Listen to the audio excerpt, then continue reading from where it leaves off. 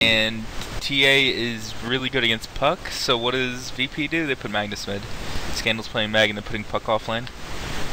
Well, let's see how this goes. I mean, we sneak into successions. They're staring down the barrel of a 2-0 deficit here, losing their first map essentially in the Dota Pit League Season 2 ticket. Of course, we do have a big prize pool going the way of the winner of this one, but it can be increased with the Dota ticket. It's in the Dota stories. Go ahead and check it out. Of course, we are here on twitch.tv slash Dota Pit as well, if you're interested. And uh, we are going to jump into the game, so we've got some time here. I mean, again, this is Medusa. This could be a long one, as we're waiting to get underway here. Our second game today. But uh, I'm excited, man. This is this is a damn This is absolutely ridiculous.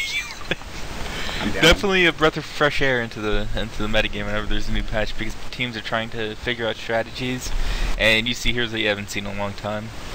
I mean, like this is just this is godlike in a nutshell. I think so. Yep. It's exciting. And even style this game is picking heroes that they don't normally pick. Like Hush, Rubik, Anti-Mage. TA, Anti-Mage. Yeah. Those are heroes that you don't see too often. Ancient Well, dude- Apparition comes up every once in a while, and Brewmaster is a consistent ban or pick hero. We're getting uh, to that point in 6.82b where everything's starting to get shifted around here. And if there's one person that's going to make sure that the metagame is shifted, it's going to be the uh, the great drafter himself. It's going to be godlike. But one thing I want to talk about is this is an offlane brewmaster, which I think you discussed in the draft. But this is something you don't see too often for IX Mike 88. This is not one of his go-to heroes. Maybe you'll see a Void, maybe you'll see a Centaur, Tide Hunter. Um, you know, a couple other heroes in this pool, but Brewmaster's certainly not one that I see too often. I've seen him play it a bunch. Should Not not him. necessarily in matches. In matches, it's almost always TC taking up the Brewmaster, Mm-hmm. but he does practice it in his own in-house league. The ICL. Meanwhile, NEL, so. VP ran five heroes to bottom lane at the start of the game just so they can block the Radiant jungle and make it a lot more difficult for Nyx to get their pulls off. And Nyx, if you look at their heroes, they don't have sentries. They got boots on Whitebeard this game. So they can try to initiate on Puck. Oh, oh. Good positioning from Whitebeard getting that deny on the Nicely illusion rune bottom. That's just a smart little play that comes out. Where they're running two heroes. They might send the bottom. They have reduced the top rail then. They did this last game, I think, for at least a little bit. They just kind of sent the heroes towards the off lane. Just kept them there. But this is going to be. They want to put pressure on us, And I think if they can get some kills, they can certainly just start a balling out of control. But again, this is going to be a game where we're going to see probably 20 to 30 minutes without, you know, any huge plays or. You know, any ridiculous tier 2 characters. I'm not going gonna say that after last game. Last game started getting crazy and I thought it was still gonna be farming for a little while. Yeah, that's true. Something we'll have to keep our eyes on, but I, I don't know. I just feel like, especially with a, a, an this game, it could take a while for things to get going. However, with that being said, some introductions going underway. Virtus Pro Polar, the winners of the first game. DK was playing the puck, the farming hero in this lane. Godlike on the Ogre Magi. Willow will be on the Shadow Demon. Mid lane is going to be Scandal playing your Magnet, so uh, a bit different than what we thought. TC getting harassed down by Scandal as well. Top lane is going to be Illidan again on Medusa. I Ice like your off lane Brewmaster for Snom. We'll see TC man on your Templar Assassin. Whitebeard on your Rubik roaming towards the mid lane. Fluff on your Ancient Apparition. And Ush playing your Anti-Mage. So they're actually doing really well in this lane down bottom. They really can't get close for sneaking Nyx Assassins. They can't get any farm. Whitebeard's going to roam on Scandal. He has telekinesis. Can't get in range to pop it just yet. He doesn't have too much speed, so we will catch up to Scandal here, right, him down a bit, but not going for the kills. So just harassing him out of lane. I mean, sneaking assass- assassins said, okay, we can't do anything bottom, so we're gonna send our Rubik roaming around. He's gonna put pressure on the Medusa, so Medusa isn't free farming at the same time. And Wiper's gonna head top. Illidan is, uh, well, he's be wrapped on currently. He does have his ward though, so he knows this is happening. He's gonna walk right into right, right into Whitebeard. Right clicks him once, but Whitebeard not taking that much damage, and he just backs away. And Ice might get it. He does have slap, but it's only level one, however. Bouncing in, I think, for Lil, he's gonna walk to the high ground. We're gonna fluff, up, see him clearly. Lil is just gonna maybe throw up his disruption if he wants to. We're just gonna zone him back out. So this is the problem now for Nyx Assassins. They're not getting any farm on us in this bottom lane, like at all. They're starting to get farm for Ix Mike in the top lane, but they really are gonna try to shut down Medusa, and I think that's important. And Illidan, they can bring him down this game, they can certainly get a victory here. And TC, I think, is gonna be the biggest factor coming out for Nyx Assassins. If you can get involved in a lot of kills early, then all of a sudden this game becomes a bit more difficult for Virtus Pro Polar, whereas they're already pretty much winning every lane. Down bottom though, Ush getting caught out, they're gonna use the illusion orb, Godlike already fire blasted. Easy blink for Ush though. level 2, he's not going to get caught out. There was no disruption for Lil, so he wasn't even there at the time. Well, Whitebeard is sitting top, trading extremely aggressively on Illidan. Yeah, this is very scary. Fluff was actually coming in as well. Whitebeard maybe could have gotten that kill. He had telekinesis up in one second, but Illidan backs away. And realizing that they have this ward. He knew exactly where Fluff was because when Fluff was over on the top rune area, Creeps gave vision of him and he got pinged out by Lil. So they knew that Fluff was rotating up, and he knew he could sit there and trade until he saw him in the Observer ward. And this is what they need to do, I think, against Virtus Pro Polar. I mean, Illidan's already going back home right now, which is very important. Again, you can always get back into the game if you do so. You have that farming ability, but this is what they, I think they should have done from the from the word go. And now they're starting to be aggressive a bit more. But this, this leaves us in the bottom line getting not much. He has five last hits, so that's more than maybe you expect, but it's still pretty bad. Mm, it's a it's a hard game for the anti-mage right now. Not as hard for the Medusa, because he at least got the first couple of waves. Which reminds me of a game where um, Navi was played against Shadows in the past, where Sneaky was flying anti-mage, and he got literally no farm. He had two deaths and 20 last hits at the 20 minute mark, or some or 10 minute mark rather, and he still was able to carry the game at about 30 minutes in, just by getting Battle from sheer willpower alone. So, I mean, for us, it's just don't die since in his bottom lane, and maybe someday it'll be your Battle Fury. Know, Snod doesn't know what to do with their supports. They send them top, and then VP supports rotated up there. They send them... They're starting to send Whitebeard back to bottom lane right now, but VP is gonna see this, and they'll probably send their supports back down to Puck. Their cores and top and bottom are actually able to get stuff when their supports are gone, whereas Brewmaster isn't able to get too much alone other than experience, and Anti-Mage is the same thing, not getting too many creep kills. Meanwhile, the support levels if you look at the EXP per minute, it's absolutely terrible for Sun. Their support's wow. getting very under-leveled, which is going to play a huge factor in the mid-game. In the first couple of fights, it's going to be very hard for Sna. Tough still level 1, man. Like, at this point, this is looking real bad for Phoenix Assassins. Just their support level alone. And on top of that, it's not like the carries are getting that much farm. Their cores in the, in the mid and rather bottom and top lane. TC's getting a decent amount. Um, but in comparison, I don't know. This is oh, Fire Blast coming in, Whitebeard getting caught out. Phobos is gonna throw lose your best well. Faithful's gonna fly, but that's first blood for Goblak. Cold Feet will connect on Goblak. He's getting low, but that's not gonna latch him there for much longer. Look forward, they want this kill. He's literally the tankiest hero alive. He's got 8 armor and he's tangling up, but here comes TC to secure the kill. And uh, he is literally not unkillable. He will go down to Fluff, and that actually gonna, that's going to get him a lot at least. It's going to get him up to level 2, almost level 3. And that actually gets some more gold going for Ush as well, which is very important early on in this game. Top lane Ix Mike manned up into Illidan. They just kind of whacked each other for a little while. And then Ix Mike ran away. Standard Ix Mike play coming out in that Brewmaster. He's sitting here, he's farming up. He's very low, he gets hit up with a snake, and he actually has to go back home. He's gonna salve, actually. Just kidding. He doesn't need to go back home. He also has a bottle as well, so... He'll try to get his Blink next because he doesn't need to go for Arcanes, because he has that bottle, but... They're gonna try to go for a kill with Southland and Illidan, but he's gonna back up. And they have wards in this jungle, and his creep wave right now, and I expect to making sure that Fluff doesn't get spotted here, but... I think they have a feeling that he's he's probably somewhere in, in the vicinity. Meanwhile, Anti-Mage gets disrupted on bottom lane gets silenced afterwards, but it was just a little, little bit of harass. Uh, Ush this game did not skill Mana Break at all yet because of those images coming out from Shadow Demon. If you skill it up and you get silenced after disruption, you could be completely oomed and dead because you can't blink away. Yeah, that's actually smart, uh, I think. So. Usually you'll see anti-mages get a magic stick. I say usually, but you don't really see anti-mages, uh, and anti-mages against Shadow Demon at that. But you can get a magic stick, so you can get your mana back after you burn it off yourself, and you save a point to skill into mana break whenever you go for a kill. Which he did not do either, he put his extra point to his stats. Oh boy, Goblak. Oh, they didn't spot him. They're looking for Illidan. He's going to use his Mystic Snake. There's the Chilling Touch. Whitebeard gets obliterated by that one hit of the Mystic Snake. Feet went through, didn't do anything there. There's the Fire Blast of Fluff. He's about to fall. Mike getting chased down by the Medusa. Fluff about to go down. Just the right clicks alone of Goblak. He will fall. Meanwhile, there's a skewer coming through. RP as well. Disruption. No! Oh, Mike. He will get away. Virtus Pro Polar with the misplay there. RP into the disruption. You try to skewer afterwards. Some miscommunication from Virtus Pro They, Polar, but they wouldn't uh, have gotten that kill regardless. RP doesn't last long enough for them to finish him off, but they would have forced out the Brewmaster ult, which is important by itself. And they don't do either in that situation. They don't get the kill. They of course that's cool. Nice Mike saves in the top lane. He gets more gold. He's up to a thousand now. So rotation back mid towards TC. He's probably fine. He actually has a decent amount of farm. Wraith Band, Bottle, Phase Got two GG branches, which will probably turn into a wand here in just a moment. 38 last hits. Second most of the game behind. Phobos is sitting at 43 with free farm in the bottom of the lane.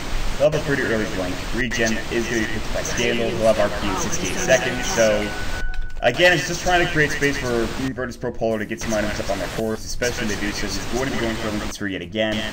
Uh, Anti-Mage is sitting on, it seems to be, uh, he actually just has 450 gold in the bank. He's got a Quelling Blade, Ring of Health, and 4-man shield, so he can't even get into lane right now. That's a problem. Uh, Goblak's skill build is something to watch this game. Right now, he's level 4 with 2 points in his Fire Blast and Ignite. Um, gotta wait and see when he starts taking points in Bloodlust. He might start doing it at 8, 9, 10, and 12. Get his 4 points in Bloodlust, buff Medusa. Uh, that would be the the choice I would make here because they're really, really trying to buff up this Medusa with those hero picks. Yeah, and you don't get too much out of Fire, or not Fire, let's Ignite later on in the game. Just for the early GC, I think it's really nice here and just the damage over time, but... Yeah, two points is good. I wouldn't put more than that in it though. Well, Unless he starts getting crazy amounts of levels soon. Which could happen theoretically. I mean, you get a big RP coming through. I mean, they're trying to go on TC right now. Disruption's going to fly, Soul Catcher's going to go as well. It looks like he's connected on the creep, unfortunately. TC, he's going to get fire blasted, he's going to get ignited as well. He's going to melt strike, they will use the uh, big RP coming in from Scandal, and TC does fall. Almost going to be killing Godlike, however, though, at least turning that around well. Nice, nice little play there just to get that kill. They, of course, with Soul Catcher, they probably get that kill out, out of him, I'm not sure, but at least they lock him down and they bring him down, so... Good levels for their supports, getting the kill on them solo mid. God, Fluff can't buy a right now. He's level 3 still. Yep, the supports and stun need to get a kill somehow. But I don't see them killing Medusa, I don't see them killing the Magnus, and I definitely don't see them killing the Puck unless he farms with Illusory Orb. I don't he hasn't been doing. Godlike. I mean, he's got 8 armor, he's got a 1,000 health at level That's 5. Yeah, He's actually true. tanky as hell. Yep. It's it's a hard life for the stun supports right now because of their laning decisions of oh we Wow. can't lane here let's run around. That disruption actually saves him from the side trap. Illidan is going to get brought down with the telekinesis, but still it doesn't matter. Buyback coming in, or no, I just heard the sound for whatever reason. Cycling up, that'll be on ogre. He's going to just get up in the air. Illidan still very tanky with the mana shield. Skewer through. Skilla does not have RP, but Mike does not have his ultimate anymore. Lil's getting brought low, but it doesn't matter. There's going to be Dream Coil onto two. TC going down as well. He falls to the shockwave. Whitebeard, one right click. Phobos has his illusory orb in one second here, and he might go down. No, he stays alive and they will trade two for one effectively. Scandal teaches back home. Nice fight going the way of Virtus Pro Polar. And again, they're starting to lead the way here. In fact, they go bottom. Scandal trying to fight up against Ush. He's just trying to sit and farm for his life, but he can't get anything done this bottom lane. Yeah, they don't want him to let Ush have anything. He's been getting some farm in the jungle, but it's not much. Nyx was is in a position where they had to try to force something and try to get a kill.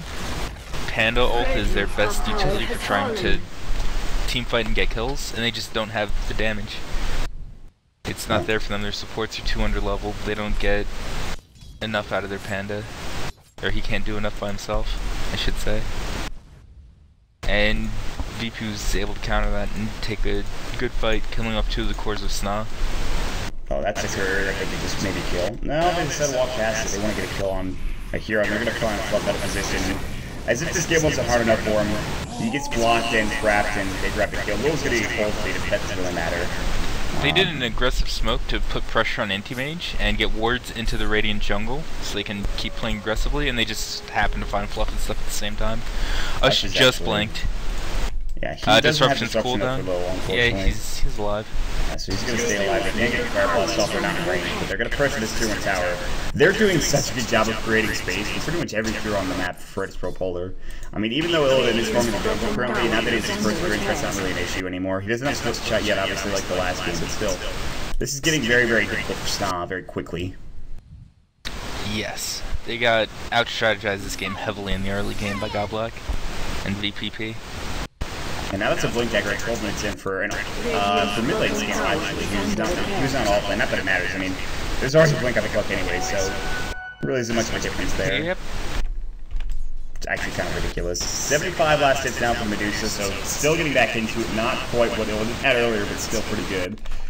Um, they have the highest in net worth right now, the top three anyways, in TC. His involvement has been pretty minimal. I mean, that early team fight that you saw a minute ago really didn't pay off. They do have a, a, an ancient stack going, and he's going to maybe try to take this, but I don't know how much that's going to give him in terms of net worth and actual usefulness in these fights. It just feels like right now Nyx Assassins are losing pretty much every single one of their lanes, and they don't have that late game carry to get them back into it, not, not at least right now, because Medusa's also got that late game carry potential, and Illidan's getting up there, so... They don't really have the greatest pick-off potential. They almost have a blink on, or they do have gold for blink now on Ix Mike, and Fluff is getting close to level 6. That'll help them out a bit. That's no bottom lane. Skewer as well. Soul Catcher, he's gonna try to blink, but there's the Fire Blast. Nicely played. Easily done coming up from British Virtus Polar, so... One RP, one kill. Good trade coming out from Virtus Pro and Scandal. There's so. more than enough pick, poten pick off potential on VPP, but uh, Nyx can't really get anything going for themselves right now. No, they really can't. I, I mean, they're just going to keep us shut down, and they're going to keep Illidan farming top lane, and then we'll just see a repeat of what happened in the last game, except to a much greater extent. You're not going to have any items for Nyx Assassins. You're not going to need to get a rapier from Medusa, I don't think, at least not, not as early as they did in the previous game, which wasn't really that early at all. But And Alex Mike is really the only hero that can do anything at this point. And that's not much. And you talked about how they need other heroes to help them with that. There's no farm for Whitebeard for him to do any damage. They're not even close to Ancient Apparition's Ice Blast. Actually, he is level 5 now, which is... They give him some room for experience, but... It just feels like Virtus Pro Polar are in a situation where they're just out farming and out playing and sneaking Assassins at every turn. And TC on the TA is going for a Yasha right now. So he's not trying to get a Blink or BKB or something to fight early with so he's gonna have problems living these fights. And I think with Virtus Pro Polar, they can just play aggressively for the next couple of minutes because they are they are ahead by a bit. I'm not sure by how much, but it seems to be 5,000 net worth for Virtus Pro Polar. And experience-wise, it's about 4,000 as well, so they have this lead going their way. And I don't really know what to do if, here. If if you're Sna, your plan is to farm up on your heroes as much as you can, and hope that VP throws. That's kind of what it what it's at with how behind they are right now. I mean, if they do mess up in one fight, VPP, they'll give a lot back to Sna and put them right back in the game. Mm. Absolutely, that's the crazy thing with this patch. Although it was changed, obviously, we talked that, about that a bit earlier, but that's still there's a good chance that this, this changes. And it's not like they're behind too far on things other than experience. They do have 6 now on Fluff, which helps out a lot, but their Rubik is still only level 4. Rubik is actually closer to Blink than he is to level 6. How crazy is that? That's actually from the passive gold gain. But that actually, without level 6, that doesn't give you that much. I mean, even having a Blink is nice, but... the Snot stack is getting ganked by VPP. That hurts. Now they're gonna smoke up. Looking for Illidan. Uh, he has his Shield on, so he's gonna pop that up. VP are saying, okay, well, we have this tower we can take, or we just go back and, and probably getting ganked. You can maybe help him. Blink, clap, split going through. Us gonna try to fight on him, and he's gonna try to mana burn him down as much as possible. Ancient Apparition Ice Blast will connect, but big RP onto three. Blink forward. There's gonna be a winning mip. Now Phobo still going to work. TC getting low. They pop the invis. They bring down the Medusa, but how much is that going to really affect? Shockwave missed on TC. Pops the invis rune. He's still alive. They're looking for more. Onyx Mike 88 is gonna get out. They have no skewer coming through. And a two for one trade just goes. They can't connect to anybody. They lose Medusa. That's nice. They can't get anything else other than those two heroes. Those two supports coming up from Sana. So. Yeah, that fight actually went pretty well for Snod. They have to commit everything if they want to kill. So they can't fight when VP TP's in reinforcements. That Invis rune saving TC is what made that fight good for them. They were able to kill off a core and they only lost their two supports that are underleveled anyway. Mm -hmm. Underleveled, underfarmed. Well played coming out from Virtus Pro Polar, but at the same time, this Assassin is getting a pretty big kill there. Uh, TC saves a lot, he runs away and TC's out.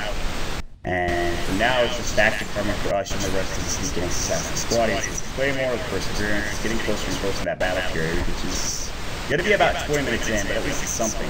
Will's getting chased down, Ice Blast is to go, and that actually just kills him. that the Ice Blast right click from Old Strike, just too much damage. Phobos is to jaunt away. His blink wasn't ready to go, but he's going to get out nonetheless. Godlike in the top lane is going to fire blast Mike. Mike is going to have a split. To use Bloodlust on himself, and he's just going to walk out. And I think you're right, this is the build that he's going for. He's going to get uh, Bloodlust at the next couple of levels here. Meanwhile, Phobos goes like Dream Coils, they grab the kill on Whitebeard. Scandal gets a kill in the bottom lane on Ush using the RP, I imagine. No, nope. it's actually on cooldown, so they just used the Skewer and Shockwave and, and Power from Illidan. Yeah, they had Ush just blinks in and man fights with Illidan, and he gets skewered, can't blink during it, and just dies to magic damage and right clicks from Illidan. The crazy thing too is that you don't get that much damage because you do have Empower now on your Medusa, and it actually gives you so much. I mean, he's 103 plus 18 split shot on him, which is pretty nice. So. It's actually just ridiculous. Medusa's item build might change a little bit this game because he does need to get an MKB for later on against Panda. Mm. Drunken Haze and Drunken Brawler are going to be pretty annoying to deal with, so. Under attack. Well, We'll have to see how things go here. Another smoke from Sna, trying to fight around every time Panda ult is up, which it is right now. Uh, Ix Mike on Panda just bought a Sobi mask, or Sage's mask rather, so he's going to be working towards a Vlad's ready to go. He jumps in. There's the split coming in. Mystic Snake, not used. Oh, they're in trouble. The Ice Blast doesn't connect in terms of actual damage, but they can get it off. But big RP. Looks like it's on to four. What can they do with this Scandal? Going to work. Fluff gets brought low as well. Beautiful RP. TC's going to get brought down on top of it all. Big fight. Scandal with the RP going to work. Ix Mike now going to get brought low as well. All the while, Ice is farming bottom, but it doesn't matter. They're going to lose a fourth hero. He's going to fall. Ix Mike getting a shockwave down. Scandal triple kill. Magnus is real. Meanwhile, Phobos is going into Ush, and they almost got a fifth kill there.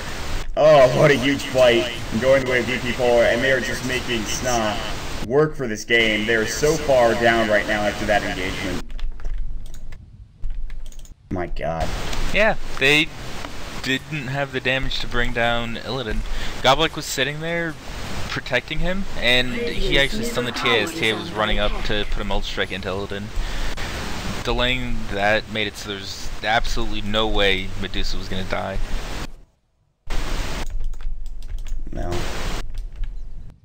Looking at it right now. 20 minutes in. What do you do in this situation here you're sneaking Nix Assassins? You talks about having uh, them sit back and then farm up and then just trying to fight around, especially the Brewmaster Ultimate, but they're trying to smoke up, they're trying to find kills, and it's really not working out for them. It's just they're getting further and further behind, and then stuff like this happens. I don't even know if you need the stream ball there, Phobos. I don't know if you needed that, but... I mean, I guess it's fine to get the kill anyways. Yeah, so in this situation, what do you do here? The map's pretty dark for Sna. They almost have their blink on Rubik, which is nice, but even if he steals RP, they don't have the damage. He just... They, yeah. Their anti-mage needs to have, like, Manta already on top of the battle battlefield he just finished, but he doesn't. It's just hard game. Hope your uh, enemies throw. Right now, it's not so like they are. They're doing quite very well. We're just Pro Polar seems to be thriving, especially on this Luxembourg server. 4 to 16. And I don't know. I mean, at some point in time, you're going to have to make a decision on you can keep trying to smoke here, but I think they just want us to get more from He does have his free now, so that is at least a good sign. And this is maybe where it gets a bit easier. They also have the blink on Rubik like you talked about. Again, Spell Steal, how important is it going to be in this game, though? We'll have to find out. RP's the biggest spell probably in the game, at this point. Uh, at least during a team fight, so... Yeah, it's BKB done also Smackers too. So I mean, I mean they're ready to play. I don't know if they need that BKB either. It's not like he's really getting caught out with, you know, the way his RPs been going. So Comes out of position after seeking assassins and Virtus Pro are ready to fight. They're going to try to push into this mid lane. TC is going to be pinged on here.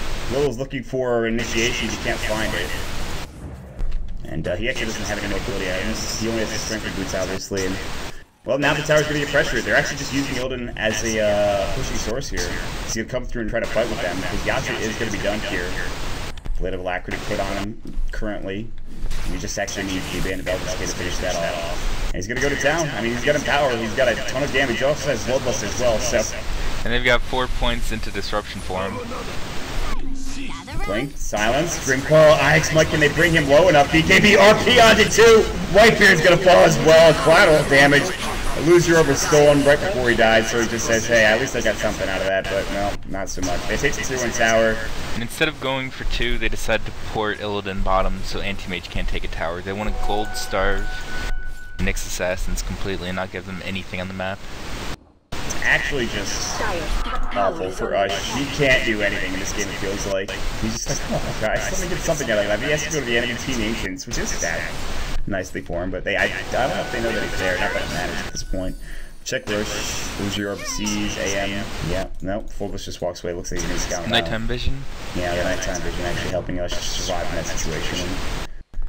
He's uh, sitting here without a TP scroll, so this is going to put pressure on Tier 2 top and Tier 2 bottom tower. Lil's here with He's Medusa. going for the courier kill right now. Anush, maybe? Nope. Decided Uh-oh. Uh, Lil, disruption, soul catcher, Have follow up though. poison, and not enough. He had plenty of mana for blink, so Gem up on DK Phobos to just further cripple Sneaky Nyx Assassins. oh god, like no, he's gonna have to RP. Yeah. RP now down. Ice Blast is gonna go. Scandal gets stunned up. Goblin gets hit up by that as well. But he's TP He's gonna try to TP out. He's already pretty low. And Phobos will get a kill down in the mid lane. That'll be on the anti-mage. Meanwhile, there's the disruption TC coming in. He's gonna try to TP out Demonic Purge. And they can't stop him from so. He, he makes that alive. And actually, Scandal survives back in the well. His BKB helping him out enough there to stay alive against that ancient apparition Ice Blast. All the meanwhile, Illidan is in the bottom lane. Every single lane is just getting absolutely destroyed for Sneaky Nyx Assassins. And they're losing tier 2 tower down bottom. It's ridiculous. Their their heroes just couldn't do anything about that either. They were committing heroes to mid after they lost Ush. They were trying to fight that. They were trying to farm up top and Ix might use his ult up there so he can TP.